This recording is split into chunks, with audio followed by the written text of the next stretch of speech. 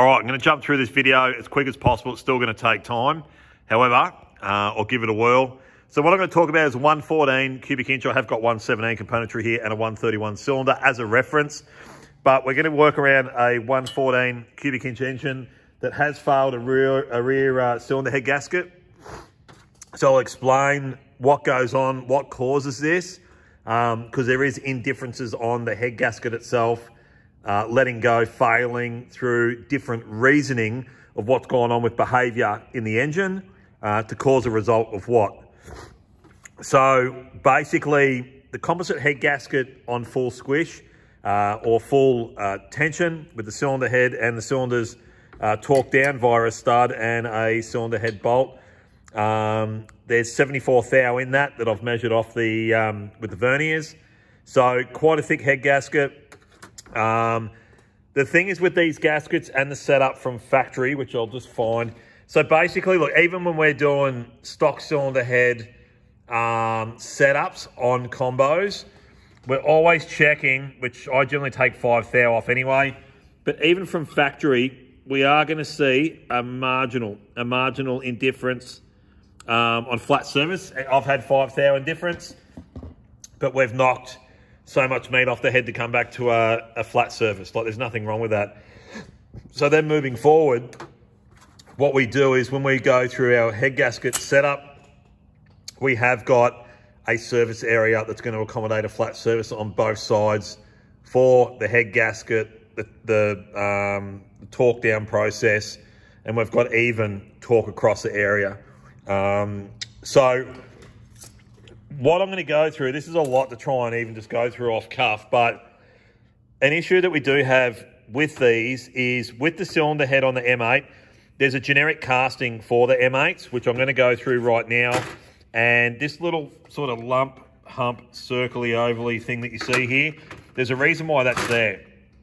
Now, with Milwaukee 8, uh, essentially, there's an oil feed hole here. Now that feed hole doesn't mean that it is applicable to every model of M8. The casting itself has got it, but what happens is when we don't use this, depending on the model, the blank or the shut off for it is actually the head gasket, which applies the pressure of that oil feed directly onto the gasket surface area here. Now what happens is with these motors, whether from factory we've had a um, torque, depending on the person, on the bike, in the moment, on the day. I call them Friday motors for a reason. But if the torque sequence um, is incorrect by any means of torque allowance or whatever, over time, we potentially can see that gasket lift marginally, which will see oil disperse from here and create its way into the cylinder, burning with combustion. Now, the thing is with these composite gaskets, there is a torque procedure to it. There's a settlement time between last torque um, set, and then we settle, allow this to, to become um, settled in its way, in its form, and then re-torque that final setting again. Um, I do the same with these multi-layered steel head gaskets. This is an update product, um, far better for setting squish um, and working on compression ratio factors, depending on the combination. So being metal, it's metal to metal, it's seated. Um, we do a final torque spec. I still final torque at 15 minutes after as a check because there's more compression in the engines and I want to know that it has settled. We've rechecked. These are the same. Now, the problem is with these, if they're torque set from factory to XYZ of what, we've got heat going in there, we've got cool down period, you know, whether you've obviously stored the bike, come back out, operating temp, ride, ride, ride, shut it off. Something else we've got to factor in is when that actual start is put in at factory, how far that's been torqued, and then obviously how much it's been torqued on the cylinder head um, bolt. These are torqued down at 45 foot pound, and these are torqued down as a final at 45 foot pound. So if we see an indifference anywhere, our clamp load, our force, our pressure um, in a square configuration, so to speak, if there is an uneven pattern of what, we will see something happen, um, whether you know, the heat allowance that's going in, things are expanding, things are coming back to a cooling area. Um, there can be indifference, which can cause the gasket to leak. Now, these, I haven't had one leak in-house here as a repair. However, all teardowns on anything else And if this head comes off of the cylinder, I am swapping out and moving away from a composite gasket from factory and going to a multi-layered steel for the obvious reason of what I just said.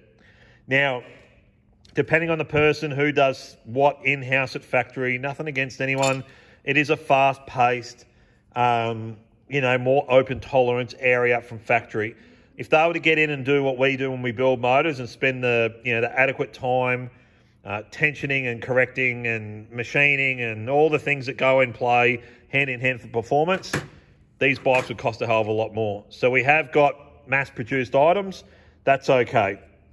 Um, so that's what obviously can create that. Now with the firing that's on the inside here of the actual gasket, if this is damaged in any way, we're going to see obviously a change of behavior of the motorcycle, um, especially when it comes to extreme heat um, you know, detonation in the engine, um, just high operating temperatures, stuff like that. So we do see on teardown commonly scenarios that explain situations.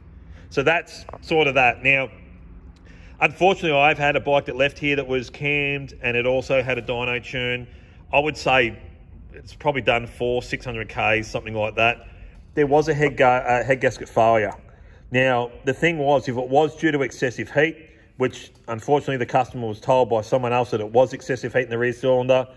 When we take these gaskets off, the actual, um, the, the, the bonding on the actual gasket itself, on the surface it mates to the head and also the cylinder, these get really hard to pull off when they've had a lot of heat in them. You can see here on this one, we've got some marginal, um, you know, uh, what can I call it? I'm just trying to think of a word, but the actual, the debris that's sort of left behind um, the sticky stuff that's stuck there. We've marginally got some of that because we have got heat here. This is an air-cooled V-twin. We don't have a cooling system in it. Some do operate on the exhaust side with a, um, a oil feed area to try and cool some of that stuff down.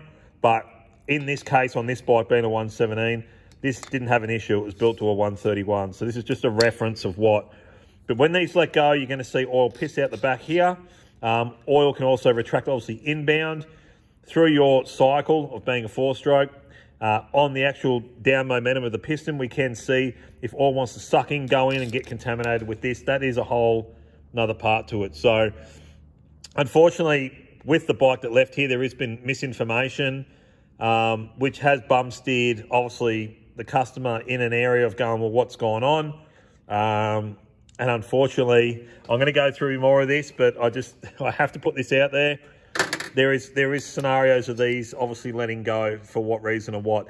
Now, when we do cam upgrades and, and tune that camshaft for the combination of what it is, whatever bike in an M8 uh, area, so to speak, um, the actual camshaft that's introduced is going to create obviously more power in the engine, more torque, more horsepower. We've opened up another area um, through lift and duration of a camshaft to work with the engine to create performance. So then we're seeing more bang for buck happening obviously in the cylinder. Um, it's leading off in a different performance area. So even with the one, uh, the bike that left here that has now gone somewhere else, the thing is with that, um, knowing that you've got that pressure happening, you know, that cylinder fill and that pressure happening in the engine, that piston is is moving a lot of different mass than what it normally is. So at stock application, hey, we might not see a bit of an issue here. Um, but the thing is, when we're working with a, a more low docile combination of horsepower and torque out of what that is. But when we start moving in other areas, yeah, I'd like to excuse these and, and go with this, but to pull heads off and do everything else and get these in there, you're better off waiting for a build or if there is a failure on the head gasket to do so. So these things here all add up, okay? This gives us a clamp pressure allowance a final torque allowance, like I said. Um, unfortunately, from factory, some things just aren't the way they're meant to be. I didn't get to pull the other motor apart, so I couldn't even tell the tension that was on these. I've obviously had to go off what I know and everything else to understand and some photo stuff um, to give evidence of what's actually happened with the bike. But I would have noticed on teardown how tight the head uh, the head bolts were. On engine builds, I've even gone to take out um, standard uh, cylinder studs, and when I go to undo them, they're already ready to go. There's not like a, uh, and then it gets going. It's like, no, I'm good. So that's what I mean. The actual tension on that in the case itself, um, which obviously stands quite, uh, you know, it's quite a fair way up from the bottom to the top on what stretch allowance could be, um, how torque is working, how clamp pressure is, um, torque to yield. So yet torque these or tension these down at factory. But once we've done it once and we do another bike, these need to be taken out, excused, thrown out and replaced. So there's all these things of stretch and, and factoring of, um, of heat and stuff like that. So that's a bit of a part about that. Now, going back to the bike that left here, uh, the customer was told yet again, the dyno tune itself on the rear cylinder, it's running really, really hot. Now, I've got photo evidence of what the teardown is at this other person's house. It's done the teardown and spoke, obviously, uh, incorrectly about what the, uh, the diagnosis was. But the thing is as well, our exhaust valves tell a massive telltale on how hot that, that actual chamber, that cylinder is going to be whilst operational. So the colour is a huge thing. Uh, what's going on? The, obviously, the issue is on the bike that was torn down. If it had a massive, uh, I'm not going to say injury, but if it was to be overheating by any means, we're going to see a multiple, you know, things of check to understand what the heat's done to one, a head gasket, two, exhaust valves is a big one. Um, and then anything else that we sort of see on the way as a witness. Now, heat in a cylinder. We'll just move on to another thing quickly. If there was to be um, an incorrect tune or a bike operating hot, we would definitely see piston skirts scored, damaged, abrasive to the cylinder wall. So obviously, um, cam side. So obviously, um, when the piston is going up and down through thrust motion on skirts, if we had expansion of heat, we would see that actually go further uh, into a damage zone and we'd pick up on that. The rings themselves in the ring lands, they possibly could be, um, you know, because it's picked up a lot of material debris off the cylinder due to heat expansion, we would see the rings be stuck into the ringlands. It just depends. Um, there's these things that show parts of heat. Unfortunately, the bike that left here didn't have heat issues. Um, I don't know how far I need to go into this. Like this is, this is just a literature-based thing. I don't want to, you know, talk anyone down by any means. However, there is bad evidence in the wrong direction for what's going on with the bike that, that actually came from the end. If you guys can see this, which is going to be a little bit hard just due to the lighting and everything else. You can see marks, but the thing is here, there is ring chatter, right? And ring chatter, th this has gotten hot, right? There is obviously a lot of glazing, different things going on. This is a stuffed cylinder. I'll tell you why. It come out of that bike, that motor, right? But this is a perfect scenario I need to go off, is Robbie's bike. Because what happened with this was, it lost oil pressure. Obviously it got hot, but hot, having heat's heat. What happens is, well, I'll, hang on, I'll backpedal on that. Because what I want to go into something that cools the cylinder, right? Piston um, squirters, right? These little jets. They work on 12 PSI plus. This squirts oil up into the bottom of the cylinder. And while the um, it's squirting, it's squirting up underneath the piston as well. It's a cooling component um, and a lubrication component. Now, by any means, if one of these gets blocked with a little bit of snot in the back of it, say it was a bit of um, uh, silicon or just something like a, a metal filing or a, a chip of something, if it gets in there and interferes with the pressurized area of what this actually squirts out and what it does for its job, it's going to lack oil on pressure. So if this isn't pressurized correctly, we're going to start running into non-lubrication, so to speak. Um, ring chatter will occur, scoring will occur. There's all these effects that take place. S&S do a great up update. I do this on a lot of the bikes. Dual um, squirters and obviously running a, a, a PSI pressure of 12 as well as the other ones. But once these get going, they're squirting, pressurised all up in the cylinder. Now, the other thing is too, with the bike that left here, the rear cylinder was the uh, culprit for the head gasket. But the thing is, with the cylinders being in, in your typical V, so there's one in the front, one in the back. Now, you've got to understand, if this was to be the back cylinder, we'll say we'll do it this way. Right, so it actually looks like it's it's on the V, and the other one's here. Our crankshaft, if we're looking from the cam side like this bike over here, we're rotating in a clockwise motion. The oil that sits in the bottom of the crankcase on the inertia of the crank, it gets picked up and splashed into there.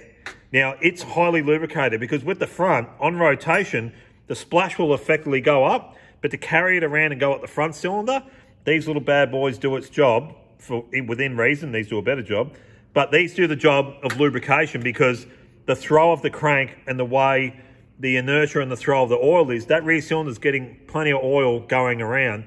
So yet again, there's quite a cooling component to that rear cylinder via oil. Yes, in the tune, we have adequate fuel to work with the cooling component. Like I said in the tune, like everything else that I tune, it's the same stuff. We add fuel in and work it in a way to have a cooling component there because once we're in our V-twin, we've got airspeed coming in. We're seeing plenty here, but we're getting starved on the back. But all these things add up. If an engine was to be hot, we would see a lot of this stuff going on, like in Robbie's bike. Nothing against Robbie. But also with heat, we would see expansion here, which would lead to a creation of, of, of thrust grab on rotation when the, uh, the crank's going around. And we would see a hell of a lot more damage on there and everything else and whatnot. I'd check. There's so much that goes on. I didn't get to pull the motor down. this is the literature of an engine and what goes on. When you tear it down, there is inspection, there is correction.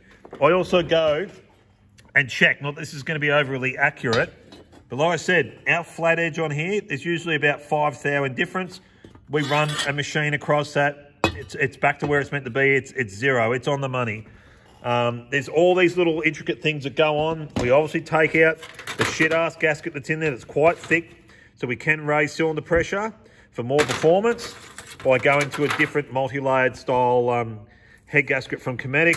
We stay with a 14 thou uh, base. We don't go to 10 because there's other areas I can go into. This is what's come from factory.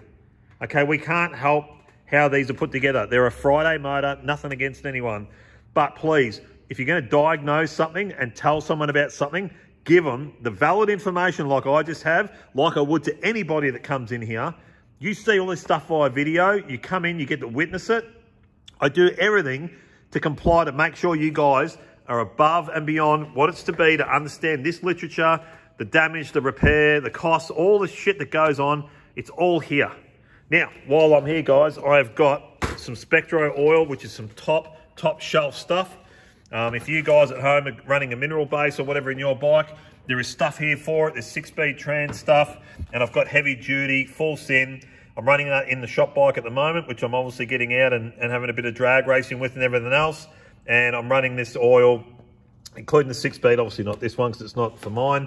But there is some good products here, guys. If you want to pop in, go for it. Factory 6-135 Ellingham Street, Golden Square, Vic 3555 or contact 0344084959. This is just ground floor stuff you need to know. It gets explained to everybody with everything that goes on with their bikes because you deserve to hear the truth and that is it. And you have witnessed it today. Thank you so much for watching.